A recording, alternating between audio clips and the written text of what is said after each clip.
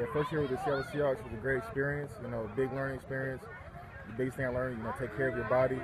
And by doing that, you know, you compete every day, 100%. You know, you won't feel all sore, so you got to, you know, stretch on your time off, get massages, and just really compete every day. Every day in practice, everybody goes hard because, you know, there's a spot to take. And that's what I learned, you know, to compete every day. Every day out there to take somebody's job. In college, it's a little different because, you know, most of the time you're setting your position, but in the NFL, every week you get somebody can take your spot, you can take somebody else's spot. So, you know, the big thing is uh, competition out there. You know, just compete every day, practice.